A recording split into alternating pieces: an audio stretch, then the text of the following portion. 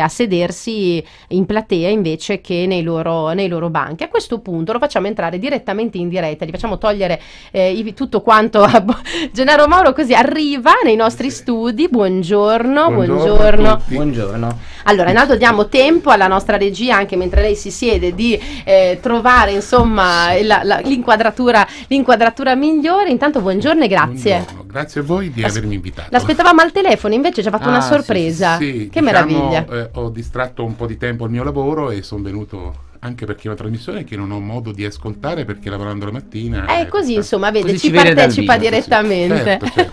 ecco Mauro una cosa importante proprio su questa cosa del lavoro no? lei sì. diceva ho sottratto un po' di tempo al mio lavoro sì. Morolli abbiamo sentito poco fa il capogruppo del Partito Democratico sollecitato sull'assenza di alcuni consiglieri diceva tutti lavorano quindi insomma è un orario particolare qualcuno arrivava in ritardo perché comunque oltre a fare i politici visto insomma solo di politica eh, lei lo sa benissimo da consigliere almeno non si campa bisogna fare un altro lavoro. Secondo lei è una giustificazione accettabile questa? Beh, eh, diciamo che può mm, diciamo, verificarsi un, un, aspetto di questo genere. Volevo, volevo, specificare di politica i consiglieri comunali non, non vivono affatto. certo. Diciamo, I loro gettoni sono di 100-200 euro mensili, eh, diciamo solo in alcuni casi, ma non oltre queste cifre. Faccio capire che in realtà la politica è molto volontariato e molto impegno.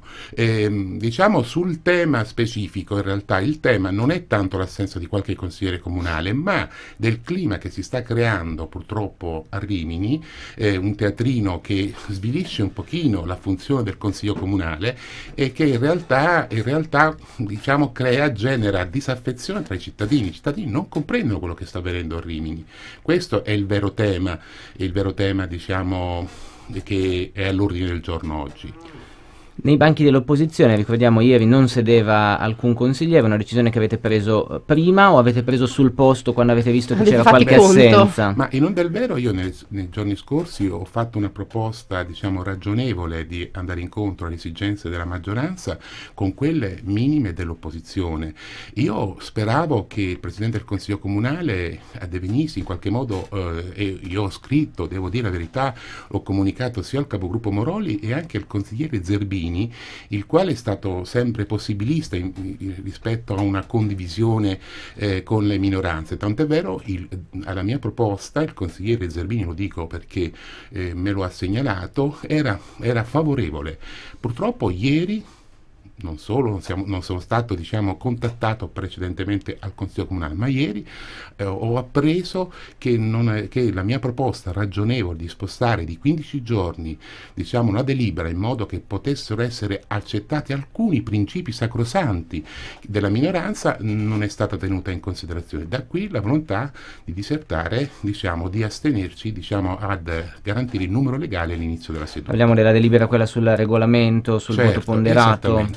Guardi, è una, è una, questione davvero, una, questione davvero, di poco conto questo in un contesto più generale. Io volevo segnalare, approfitto, eh, approfitto di, questo, diciamo, di, questo, mezzo, che la politica oggi sta cambiando completamente volto. La, il, le aule che una volta il Consiglio Comunale erano, erano diciamo, luogo di proposizioni, di condivisione, di analisi, di approfondimento materie, di materie importanti per lo sviluppo di una comunità cittadina, sono svuotate. Oggi la politica la si fa sui media, con le interviste, eh, gli assessori non rispondono ai consiglieri comunali, rispondono sui giornali. È un modo diverso di far politica che chiaramente danneggia chi? Danneggia chi sta in opposizione che non ha gli elementi per poter in qualche modo analizzare, perché sui media va benissimo, voi fate un ottimo lavoro, però molte volte eh, è necessario un approfondimento che i media C'è una semplificazione fare. sui media che chiaramente non... Eh, invece è giusto un approfondimento nelle sedi eh, adatte, adatte, alla politica. Ecco Mauro, una cosa, Moroli dice di no, ma lei pensa che la maggioranza insomma, abbia qualche problema di, io, di numeri? Di numeri no, cioè, io, no. io, credo no, la maggioranza ha i numeri per poter governare la città, mancano pochi mesi del resto, quindi ci mancherebbe. Certo, rifondazione comunista, che è appena uscita dalla maggioranza, in qualche modo fa sentire il suo peso, ma questo fa parte della semplice dialettica politica. Gnassi eh, eh, porterà chiaramente il governo della città fino alla fine perché non c'è nessun tipo di problema, ma infatti il tema non è questo, noi avremmo garantito il numero legale. Se ci fosse stato non solo in questo caso, ma anche nel passato, un dialogo che assolutamente non c'è. Io voglio qui denunciare una cosa, io con il nostro sindaco non ho l'opportunità di dialogare da capogruppo del maggior partito di opposizione, il mio sindaco non mi saluta addirittura. Noi arriviamo a una difficoltà di comunicazione, di dialogo, di rispetto dei ruoli inesistente. Purtroppo è questa la cosa che davvero denuncia, perché molte cose potrebbero essere chiarite come in famiglia, come in tutti i contesti, dialogando, rapp- rapportando le reciproche necessità e trovare una soluzione di sintesi. Oggi come oggi, sui temi strategici della città, a cominciare dal Parco del Mare, a finire la questione dell'aeroporto, in realtà manca un dialogo. Oggi questa amministrazione eh, riconduce sul Parco del Mare, che è un tema attualissimo, che è molto più importante rispetto alle problematiche che stiamo discutendo stamani, sul Parco del Mare, che è in realtà la diramazione di quello che era il piano strategico votato all'unanimità, è diventato il Parco di Ignassi, che non ha condiviso con nessuno e che non condivide con le, delle associazioni di categorie, con gli imprenditori. C'è questa mancanza di dialogo, questa è la vera colpa se voglio lanciare nei confronti dell'attuale classe dirigente del Partito Democratico e di quella che governa questa città. In merito a ieri sera anche il sindaco non c'era, era giustificato, aveva detto che sarebbe arrivato con mezz'ora di ritardo, però mancavano anche tanti altri amministratori. C'era, solo c'era l'assessore Biagini. Ecco, sì. come vede anche, anche, questo? Perché sa poi, eh, come dice lei giustamente, le questioni ce ne sono di, di, molto importanti, però anche per i cittadini che comunque vi hanno votato, hanno dato la, la, la loro fiducia ai rappresentanti che poi siedono in quei banchi, sia insomma nei, tra i consiglieri che eh, tra gli assessori, vabbè, gli assessori vengono scelti, però comunque resta una fiducia del, del cittadino. Ecco, vedere questa scena, forse qualche domanda da casa anche guardando ieri sera la televisione, qualcuno se le posta, Mauro. Sì, io, io dico che è proprio figlia del diverso modo di far politica. Io rispetto tutti i ragazzi, posso dire ragazzi perché sono tutti più giovani di me che siedono nei banchi della, minora, del, banchi della giunta, sono le persone anche preparate che cercano di fare al meglio il loro lavoro. Eh, sicuramente è figlia di una politica che vuole che l'assessore e il vice sindaco risponda ai giornali, ma non al consigliere Pazzaia eh, su per esempio il problema del post, eh, prima, eh, post scuola. Eh, ogni tipo di problematica che noi poniamo eh, la conosciamo dai giornali. Il consigliere comunale non sa nulla di quello che avviene nella città, lo apprende da voi, ascoltando e leggendo la vostra... Comunque Morolli ci ha detto questa mattina che l'auspicio è che non succeda più, di qui ad aprile, insomma, che non ci siano più sedute che vadano deserte. Guardi, basterebbe un... Se non vadano senza numero no, legale. basterebbe un, un, minimo riconoscimento del ruolo della minoranza, perché noi siamo consci, io ripeto, sulla questione in specifico del voto maggiorato, io dall'inizio ho detto che era una legittima eh, posizione da parte del Partito Democratico, anche perché quasi tutti gli statuti, eh, i regolamenti dell'Emilia Romagna prevedono questo istituto. A Rimini non c'era, si può introdurre, ma altresì io in cambio avevo chiesto alcuni, diciamo, realtà prerogative per minoranza. Noi abbiamo mozioni che non sono discusse da anni, abbiamo, diciamo, abbiamo un'ingessatura che vorremmo rendere più snella.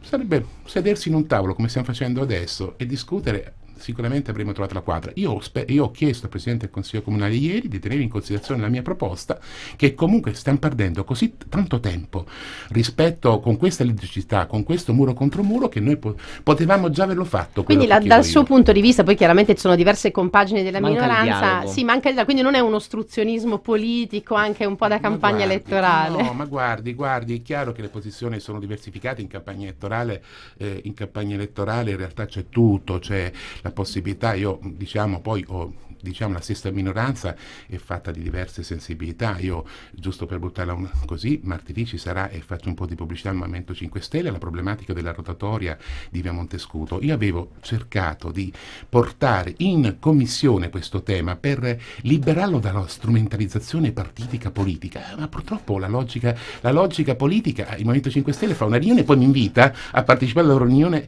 eh, sul Via Montescudo. Ecco, e purtroppo la politica fatto, è, è fatta di questi aspetti e noi ne dobbiamo, ne dobbiamo tener conto. Il mio auspicio è un invito che faccio a voi è di, è di, cercare davvero di entrare più dentro la notizia, perché questa è la richiesta che la politica e la politica di minoranza fa. Entrare più dentro la, la, politica significa anche conoscere un po' meglio i risvolti, perché la semplificazione a volte... Ma sa, credo che da questo punto di vista il servizio che viene anche svolto dalle nostre emittenti, proprio di farlo vedere o di farlo mm. ascoltare, certo, il Consiglio certo. Comunale, credo che sia davvero quella togliere la mediazione, permettere ai cittadini di andare a vedere cosa succede succede esatto, nelle sale che contano in teoria. Però sa qual è l'aspetto negativo in tutto quello? La telecamera. Eh. La telecamera eh, porta, vabbè, Mauro, porta, porta, porta, a fare dei comizi, a volte uscire Però fuori sa, un po' dal d'altra parte, questo fa quello. parte del nostro tempo sì, contemporaneo, sì, sì, non potrebbe essere diversamente. Purtroppo sì. È stato molto gentile, insomma, Io anche in questo modo abbiamo sentito anche posizioni diverse, voci. come facciamo sempre, il nostro desiderio, insomma, magari non riusciamo Quando ad approfondire come insomma... vorremmo, però almeno a sentire le, le voci in campo, in modo e tale questo... che le persone da casa si possano fare una loro idea. Questo, questo, è quello a cui... E, e, un invito, se me lo consentite alla fine, io ammiro tantissimo i giovani, io so che i giovani, la politica, le grandi svolte, dall'unità d'Italia alla ricostruzione del dopoguerra è stata fatta da tanti giovani, non che siamo in un posto particolare questo, quindi non vorrei essere retorico ricordando il Beato Marvelli.